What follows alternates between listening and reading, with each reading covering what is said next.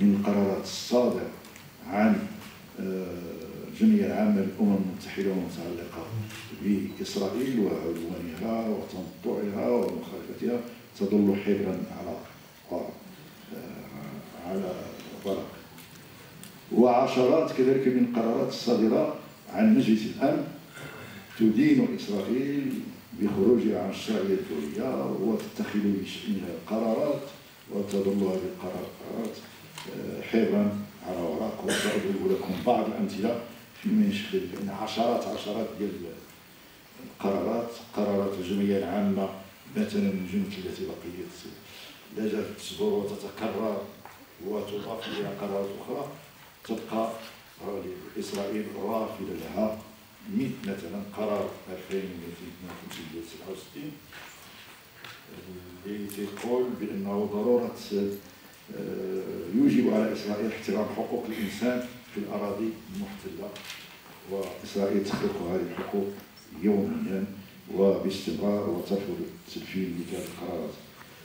وهذا القرار نفسه يقول ضرورة ضمان إسرائيل سلامة سكان تلك المناطق قرار آخر هي بعض الأمثلة البسيطة هي عشرات القرارات قرار 2253 في 4 يوليو 67 يدعو إسرائيل إلى إلغاء التدابير المتخذة لتغيير وضعية مدنية القدس. كاين قرارات دولية مئات مختلف المآتي الثقافية وغير الثقافية يجب أن تنصب بأن القدس ستبقى آه، مقدسة خاضعة لنظام دولي خاص إلى آخره. الآن القدس محتلة بشرقها وغربها. طرف منها محتل قبل 67 وأظن ما إلى ذلك آه، إسرائيل تغير من مختلف المعالم ديال القدس آه، المكتوبة وغير الموزعة ومن أثرها والجي حضرات إلى آخره. إذا كاين قرار في هذا الخصوص يدعو مثلا في 67 إلى إلغاء التدابير المتخذة لتغيير وضعية مدينة القدس والامتناع منها مستقبلا بقي حبرا على ورق كاين قرار كذلك 2672 هنا بعض الأمثلة البسيطة 812 1970 الاعتراف اللي تنص في الجمعية العامة دابا تتكلم عن الجمعية العامة تعترف بحق الشعب الفلسطيني لتحقيق مصيره مصيره على أراضيه وطلب مرات أخرى قرار من القرارات تتكرر مرات أخرى من إسرائيل اتخاذ خطوات لإعادة المشردين إسرائيل هذا القرار باستمرار ويتأكد ويذكر به منها قرار آخر 2787 في 6 12 1987 تأكيد تعطي الشرعية.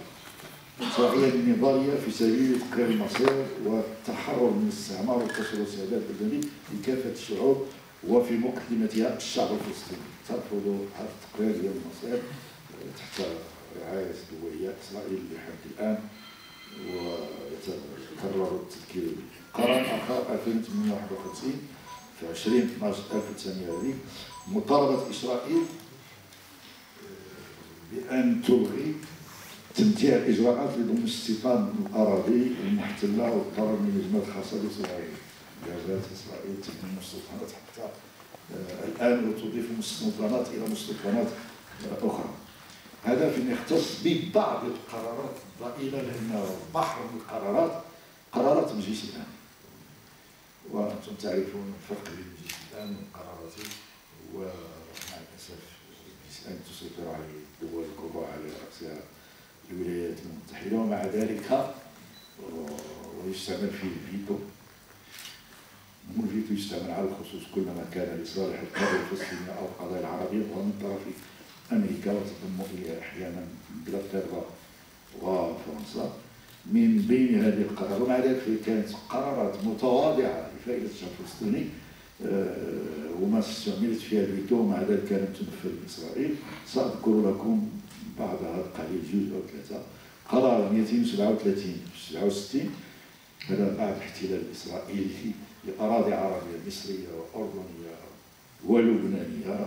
وإتمام الضفة الغربية لإسرائيل. صدرت بعض القرارات اللي لحد الآن الشعب الفلسطيني يتيافها ولكن مع ذلك رغم أن العرب قبلوا الأرض مقابل السلام. فإسرائيل قرارات القمة فاس إلى آخره.